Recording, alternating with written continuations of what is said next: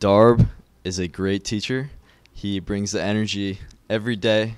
Um, he'll keep you awake uh, sometimes, and uh, he's a great fisherman, and um, yeah, just a great guy. Uh, Mr. Stevens is an amazing teacher because he's so energetic and really actually likes rocks, which is weird, but that gives him passion to teach about them.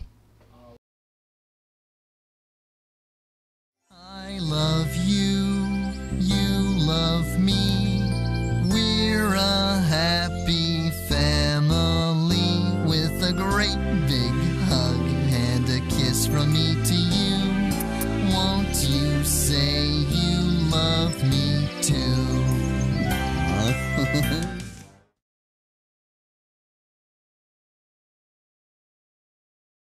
Uh, I think he's a good teacher because he is still young, which I like that he can r- relate to some things we like do outside of school and fun guy. This guy knows his stuff.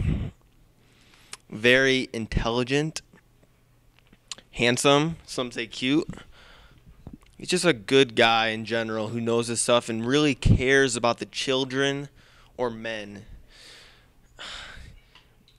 Kind of speechless to say. He will always have a place in my heart. I will never look at rock the same. Love Travis. Hi, I'm Nielsen O'Brien.